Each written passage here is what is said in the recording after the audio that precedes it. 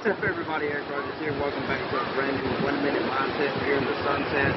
Here with my daughter. She's asked me to go into the ocean, which I was, I was unsure about doing that because I didn't have the right swimwear on. But you know what? Sometimes in life, you just gotta take what you got, make the best of it.